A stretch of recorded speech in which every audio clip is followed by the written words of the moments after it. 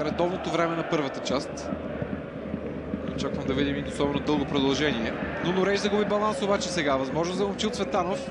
Той подава към Анте Ралица. Ралица сам срещу Михайлов. 1 на 0 за Локомотив Пловдив. Ето му на точка от днешния съперник за Славия, Локомотив Пловдив.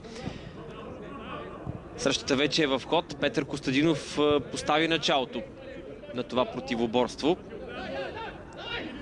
А връщайки се сега по-конкретно към новините около двата състава, за тях само след малко, защото се открива шанс за Локомотив Пловдив и ето го най-бързия гол. Вероятно мисля си от началото. Парис Омарбаев се засилва. Ето го центрирането и резултатът е изравнен. Един на един. абсолютно плътно прибрана бе ръката на Хомер до тялото. А и след корнера не се стигна до опасност. Още едно центриране. 1 на 0 за Локомотив. Е, Продължението на срещата ще бъде 2 минути. тук Ивайло Василев можеше да бъде изненадан Анте Ралица. 3 на 0 за Локомотив. Ето как от нищо тук. Велковски.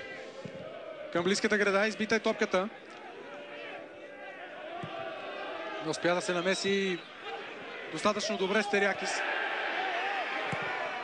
О, какъв гол на Аралица! Анте Аралица! Бути ще бие директно. Директно бие. Симеон Райков.